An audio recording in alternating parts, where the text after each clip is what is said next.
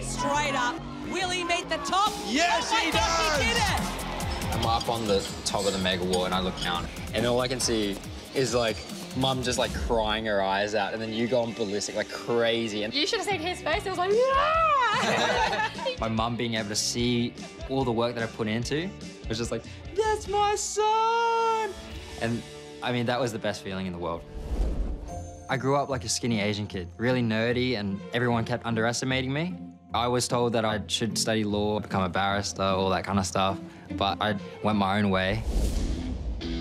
So I'm hoping that I do well and people are gonna see that you can change what you're capable of. Hey, to Winson. I'm not just a set of abs. I mean, to get through the semi-finals, get through the grand finals, and then make it up that Mount Midoriyama.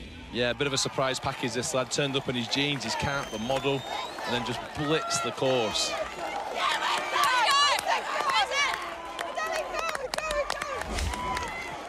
Remember the rules. If any part of you or any part of your clothing falls into the water, then you're disqualified. Yeah, so he's got to hang on to that hat. Winson Lam, the first obstacle's done. And now he'll prove to Rebecca Maddern. Oh, hang on a moment. Oh, he's tucking it down the... Oh, whoa, Winson. I don't even know if it's safe there, to be honest. Surely he's not going to put that back on his head. Oh, my word. Note to self, never borrow Winson's cap. Oh, his ankles aren't locked. He could be in trouble. Hang on. No, only just. Took him for a proper ride, but he's all right. Oh my God, his shoe! Oh, he, He lost, lost his a shoe. shoe. We've seen a few shoes come off on this obstacle. Get yourself together, mate! He's got the cap back on now. Shoes back on.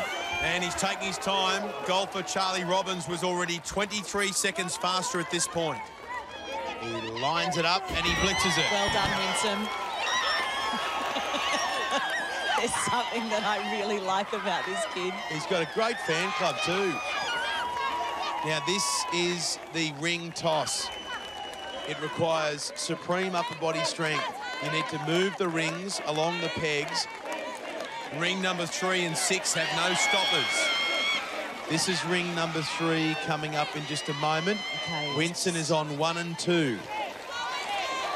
Getting into the swing and trying to... He's got a little bit of a difficulty moving that ring onto the next peg. He's getting some advice from his friends on the sideline. I don't know how much they can help him at this point. Okay, I think he's got it now. He's got it now. Peg number four. Peg number five. Winson. Um, oh, oh, look at him. The biceps are massive. He keeps looking around to his fans on the sideline. He's got time for this. It's the semi. Oh, no. That's an ugly hit. The hat ended up outside of the pool. Winson ended up inside it. Well, Winson was having the time of his life until he wasn't. He got offline on his dismount swing, but by the time he tried to straighten up, there wasn't enough momentum to clear the pool, and he face plants the mats.